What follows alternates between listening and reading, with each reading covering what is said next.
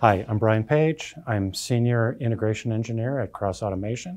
Recently, we've got involved with uh, deploying artificial intelligence. There are a number of devices on the market, all the way from simple small cameras that do one thing, all the way up to software systems that can combine a lot of very technical and advanced uh, technology. Almost all AI systems that are available to use as machine learning come in three very distinct categories. One is anomaly recognition, second is characterization or classification, and the third is detection models. The model I'll start with is the anomaly model. This is where you basically train the AI system with good images of your product or of the situation.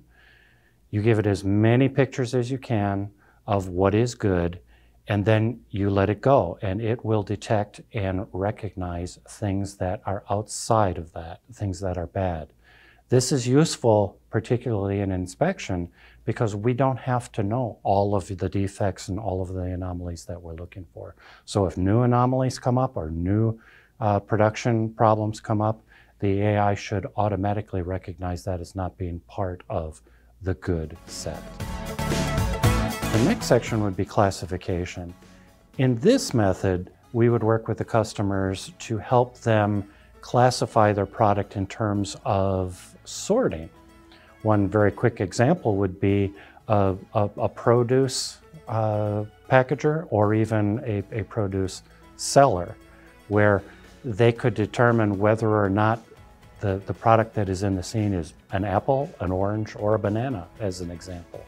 Uh, we can get into very specific things with customers that perhaps are making different part numbers that are all going down the same packaging line, and we can sort, help them sort them based on, on what the, the AI sees.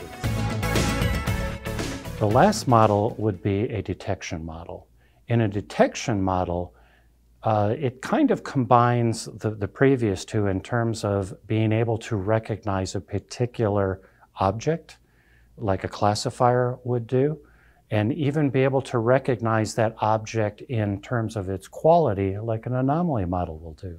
But a detector has the unique capability of giving us the position of the item in the screen uh, with mathematical coordinates, et cetera. Uh, these coordinates or this information can then be coupled with a robot, for example, to guide the robot to pick up that particular device. A, a detecting model can be used to, for example, pull out bad product, or could even be used to sort different products as well by placing them on different conveyors or on different, uh, into different boxes. If you think this technology can help your specific situation, give us a call at Cross Automation.